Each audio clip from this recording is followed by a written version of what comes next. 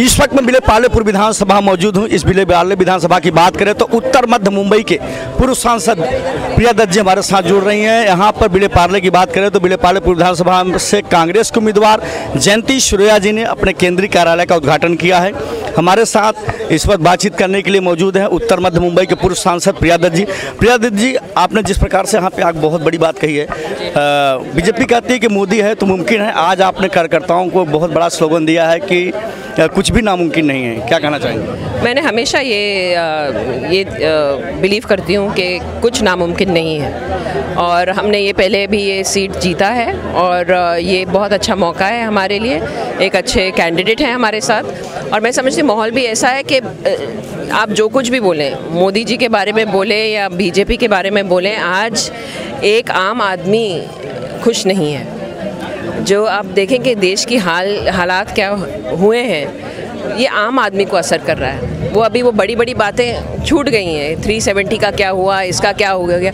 लेकिन आज एक गरीब इंसान, अगर उसके पास घर में पैसे नहीं हैं, उसके पास खाने के लिए पैसे नहीं हैं, वो सोचने लगेगा कि हमने कहाँ से गलती की है।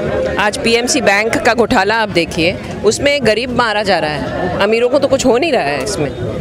तो मैं समझती हूँ कि ये एक सिचुएशन है और जो बीजेपी ने ही बनाई है यू you नो know, उनको ये सेकेंड टर्म मिला है और आप अगर देखें पाँच सालों में पहले उन्होंने क्या किया इस देश के लिए? कुछ नहीं। और बहुत सही तरी, तरीके से वो लोगों का जो है वो डाइवर्ट कर देते हैं अटेंशन हाँ कि लोग भूल जाएँ कि अर्थव्यवस्था क्या है इस देश की लेकिन फिर बातें करने लगेंगे कश्मीर की या 370 की। तो मैं समझती हूँ, ये डाइवर्जन जो करते आ रहे हैं वो आज लोग समझ गए हैं कि हमें चाहिए कि हमारी ज़िंदगियों का क्या क्या हो रहा है। और मुझे पूरा यकीन है कि इस बार हम ज़रूर कोशिश करेंगे कि, और ये लड़ाई कभी ख़त्म नहीं होगी।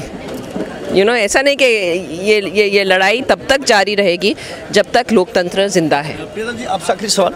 बिले पाले विधानसभा से लोग जयंती सुरैया जी को ही क्यों चुने?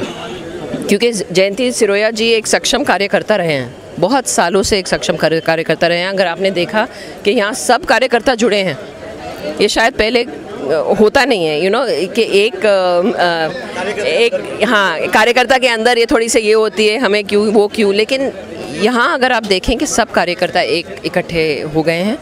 और एक साथ एक इलेक्शन लड़ रहे हैं एक साथ ये लड़ाई लड़ रहे हैं। और जैसे मैंने कहा ये सिर्फ़ जयंती सिरोया जी की लड़ाई नहीं है ये सिर्फ़ हमारी लड़ाई नहीं है ये हर कार्यकर्ता की लड़ाई है ये जनता की लड़ाई है।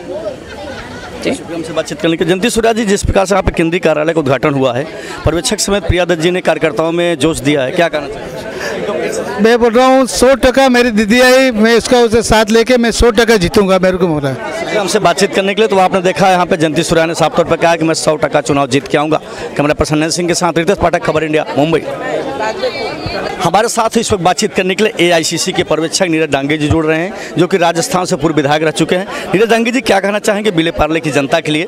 और यहाँ के जो उम्मीदवार हैं जयंती सूर्या जी के, उनके लिए क्या कहना चाहेंगे? देखिए, मैं पिछले पाँच सात दिन से इस क्षेत्र में आया हूँ और मैंने देखा है कि जयंती सिरोया जी जो यहाँ के उम्मीदवार हैं, बहुत ही सज्जन नेकदिल और बहुत ही स्वच्छ छवि के कैंडिडेट जो है, वो कांग्रेस ने दिया है क्षेत्र को। और मैं समझता हूँ कि लंबे समय से यहाँ पर ये चल रहा है कि बीजेपी हावी है, बीजेपी का कैंडिडेट जीत रहा है। मैं समझता हूँ इस बार बदलाव है।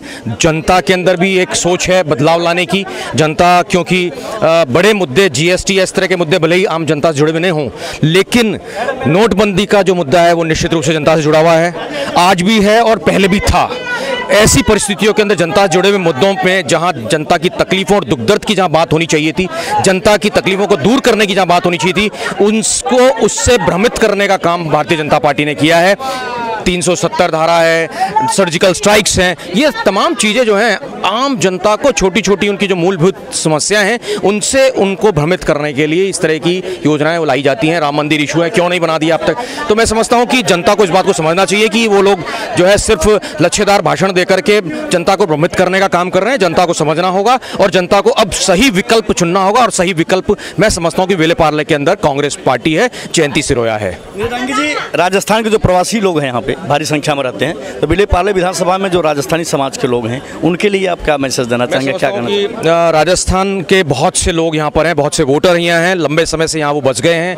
कुछ लोग जॉब कर रहे हैं कुछ लोग यहाँ पर व्यवसाय कर रहे हैं। तो मैं समझता हूँ कि उन तमाम लोगों से लगातार मैं संपर्क में हूँ। बहुत से लोग मेरे विधानसभा क्षेत्र के भी यहाँ पर हैं पाली सिरोही और जालोर ज़िले से काफ़ी लोग हैं यहाँ पे। प्रवासी राजस्थानी जो हैं उनसे लगातार हम लोग संपर्क कर रहे हैं और उनका इस बार मानस है कि इस बार हम लोग निश्चित रूप से वो है अशोक गहलोत गवर्नमेंट को भी देख रहे हैं। गहलोत साहब को देखते हुए चाहते हैं कि राजस्थान के अंदर जब भी दिक्कत या तकलीफ़ या कोई ज़रूरत पड़ी है उन लोगों को भी तो वो राजस्थान में उन, उनकी हर समस्या का निवारण और हल हुआ है।